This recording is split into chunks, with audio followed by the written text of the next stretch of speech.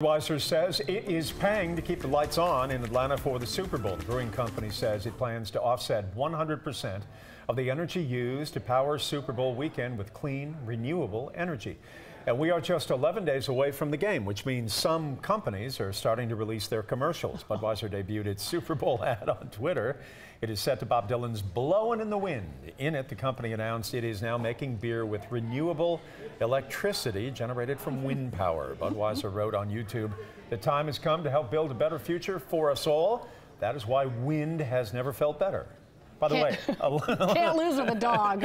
That's no, always a winner. Absolutely right. 11 Alive is one of the official partners of the Super Bowl host committee. We will be live from Centennial Olympic Park leading up to the game and from the Sky Lounge, which you can see here. How about that shot?